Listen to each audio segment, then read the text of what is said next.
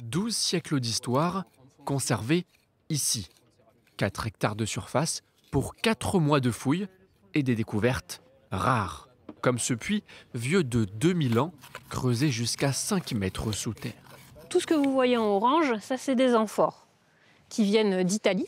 Quand c'était cassé, qu'ils l'utilisaient plus, le puits euh, ne servait plus à un moment, donc ils s'en sont servis comme poubelle.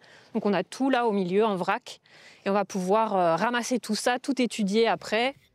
Parmi les trouvailles, trois cimetières, 220 tombes, pour certaines parfaitement conservées, comme ce sarcophage ou cette urne funéraire en terre cuite. On a une fosse, un creusement, avec l'urne funéraire, donc là dans lequel on a une personne qui est décédée, qui a été euh, brûlée, qui se trouve à l'intérieur, et un vase d'accompagnement. Du 7e siècle avant Jésus-Christ au Moyen Âge, ces vestiges ont été conservés sous terre pendant des millénaires. Mais avec l'érosion et les glissements de terrain, la plupart des restes humains ont été emportés. Ici, les, sédiments ont été très lessivés par les crues de Garonne. Le sédiment est acide et donc du coup, on a souvent perdu les eaux mais euh, on conserve parfois du mobilier dans quelques tombes.